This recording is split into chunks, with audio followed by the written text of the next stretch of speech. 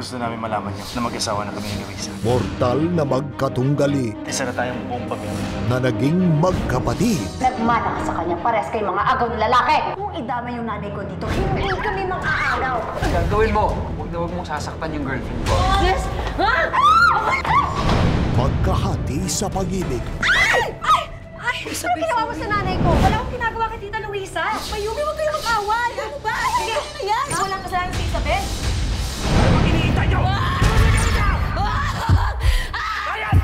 Magkahati sa pagmamahal. Coco Bella is my baby and will always be. the new president and general manager of Coco Bella.